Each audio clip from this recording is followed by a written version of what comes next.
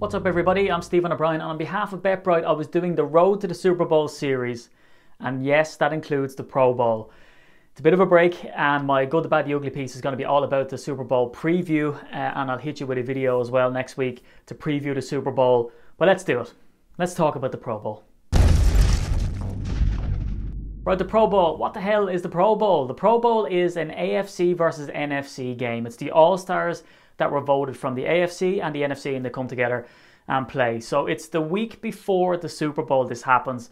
We see in other All Star games and other sports they hold it mid season, some of them hold it, you know, after the season or whatever. This is held the week before the Super Bowl. That is relatively new for the NFL over the last whatever number of years, five, six years. They used to have it after the Super Bowl, but no one would tune in. And with the NFL, it could be all about the money and they want people to tune into these games. So as i'll discuss they've kind of done some stuff around it to try spice it up a little bit. So it's held the week before the super bowl and the super bowl players who were voted into the pro bowl they get alternates get put in in place of them. So they're voted in before they even know that they've reached the super bowl and that's what you'll see happening. So for instance in the afc tom brady has been voted to the pro bowl as the quarterback. Will he play? No he won't especially with that hand. Someone else will come in and replace him. So uh, a couple of years ago they tried this thing where they had like captains and they get you know Jerry Rice to pick his team kind of like you would in the schoolyard but they decided to bring it back to this format of AFC versus NFC now this only exists because of the merger in the 1970 so before that time this game was seen as an NFL champion game. So the NFL champions would face off against an all-star team from the rest of the league and is not to be confused with the Collegiate All Star game, which was also going on, and that predates the Pro Bowl. In fact, that goes back to 1934 into the 70s, and then that was discontinued. So that was where they take on this sort of All Star college senior players. So uh, when does this game and, and what's it involve, and when does it kick off, and, and all the rest? So the winners of the Pro Bowl, so the two teams face off, and the winners of the Pro Bowl get 61 grand for winning it, and the losers get 30 grand. Um, now you look at some of these contracts these players are getting, the likes of Antonio Brown, uh, Tom Brady himself, of course, and all the big name quarterbacks. Why would they care to play? Um, they care to play because number one, the Pro Bowl is seen as the Oscars. Effectively, you've been voted in by three sort of factions, right? One is the coaches, two is your fellow players, and the third one, which is kind of new as well, is the fact that the fans get to vote you in. So each of those votes hold one third. Um, and so you're kind of voted by your peers in. It's like the NFL top 100 list that we see come out at the end of every season. So it's a big honor to be voted to the Pro Bowl. The wages that they get are peanuts, fair enough. But when you look at a rookie contract, I mean, some of these players are only on maybe 400 grand. So they could get like, you know, over 10% of their wages just for winning this game.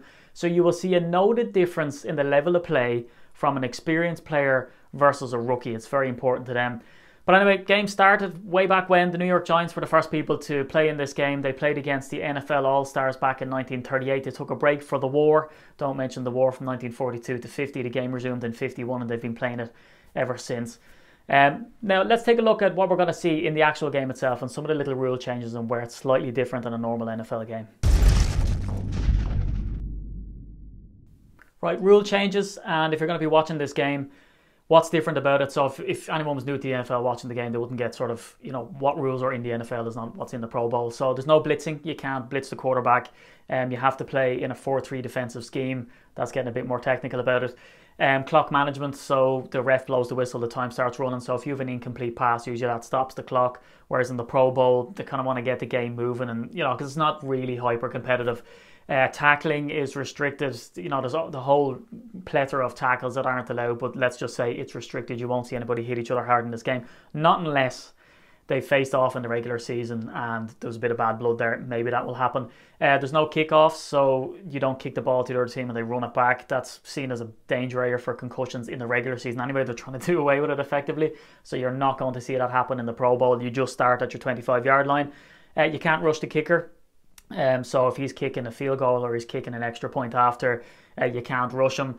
And lastly, the game can't end in a tie. And there's loads more rules, but these are the main ones. The game can't end in a tie. It will go to overtime, and they'll just keep playing until someone scores. I think the normal overtime rules kick in, where you know they have to score a touchdown in each possession. After that, whoever kicks the field goal ends up winning the game. It's not going to be a problem in this game. It's going to be very relaxed. You get to see your all stars play. But look the Pro Bowl gets a bad rap. Let's look at the good things and then lo let's look at the bad things as to why people like it and why people really hate this game. All right, what's good about it? Um, it's football. It's an extra game of football that we have in that sort of gap in between to let the Super Bowl contenders take that rest. Uh, the season goes from September to January to, well, the start of Feb, and that leaves a long, long time that we don't get a football game. So for some people, and I know after the excitement of the regular season, don't really want to be seeing the Pro Bowl. But as we're starved of football throughout the summer, you'll find comments on Twitter like, Jesus, I would even watch the Pro Bowl at this stage. I just want football. And preseason is a is a junkety game that no one really looks towards, and you know people want to see that too. Look, this game you get to see the All Star players all mishmash together, and uh, play that game together. You get to see, you know, Ravens and Steelers players play on the same team when really they're staunch rivals. In fact, um, Mike Tomlin, eh, the Steelers coach, he's going to be coaching some Ravens players and they have some bad blood between them. Sean Payton is going to be coaching some teams and he was doing the choke signs and all the rest. So that's going to be interesting to see that fire. It lets players from different teams experience different coaches and different offensive plays, albeit the stuff is going to be, you know, baby stuff. So practice went on Wednesday, Thursday uh, Friday, and the game gets played on Sunday. And th- another fun thing about it, and probably the funnest thing about this whole thing, is that they have a skills challenge uh, game where they will have the wide receivers catching balls. They have one where the ball gets lifted up by drone and dropped, so you get to see all of the highlight reel players who are catching plays throughout the regular season catch a ball from a drone. Um, then you'll see the quarterbacks in a skills challenge where they have to throw balls through targets. That's kind of fun. Um, and then you'll see a game of dodgeball between the two sides. So that's that's gas. Um, so that's on on Thursday night, probably Friday morning again. Anybody in Europe is going to get to see it. So why does it get a bad rap and why do people not like it? Well, it's a junket game. Uh, the players get played, as I said, 30 grand for losing, 61 grand for winning. It's kind of seen as like a testimonial game. Nobody's going in hitting hard. There's, it's not competitive. That can arguably seen as sometimes of maybe that's a good thing. You know, you get to see your favorite players. They're not in that hyper competitive mode. They're they're joking around, having a bit of fun. Um, Arguably, in this game, you don't get the best players because you will have, for instance, uh, Terrell Suggs came out a couple of years ago and voted for Ryan Fitzpatrick because he didn't want to vote for Tom Brady just to stick it to Tom Brady. Um, and also, the teams that are playing in the Super Bowl don't play in the Pro Bowl, so you could argue that the best players in the NFL are not playing in the Pro Bowl then. But that's taking it a bit too seriously, I think. Um, let's take a look now at some of the players that you will see in the Pro Bowl and why it might be worth a bit of a view. Right, so I'm not going to name off every name, but I'm just going to pepper you with some names to sort of show that these really are all-star names. We've Todd Gurley running back for the Rams. He was dynamite again this year. Uh, Mark Ingram, Alvin Kamara uh, for the Saints. They were the best uh, tandem in the league. Uh, quarterbacks, everyone's going to want to see. Uh, Carson Wentz was voted in, but he has that injury, so Jared Goff has come in as his alternate.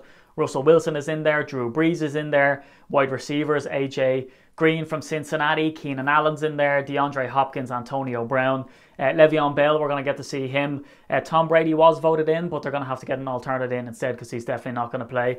Uh, that would be the shock of the season. Ben Roethlisberger is playing. Philip Rivers. Um, so look, massive names, but the big talking points really uh, every year is who's got snubbed. So we saw Leonard Fournette who dragged the Jaguars into the playoffs and far into the playoffs, and they almost won that game.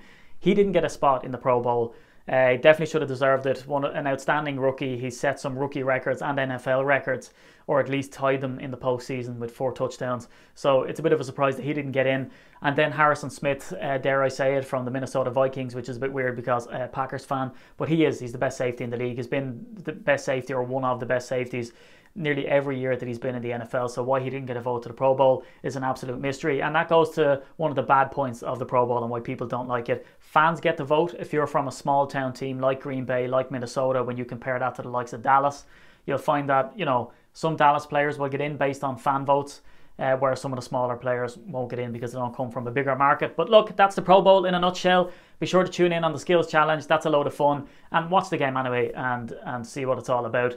That will be airing on Sunday. I will be back with the good, the bad, the ugly piece. Uh, that's going to be a bit of a preview of a preview, leaning into the Super Bowl, looking at some of the talking points, and I'll be back with the vlog then, all about the Super Bowl and leading up, and who I think is going to eventually be Super Bowl champs, and that's going to come out on Thursday. So until then, see you.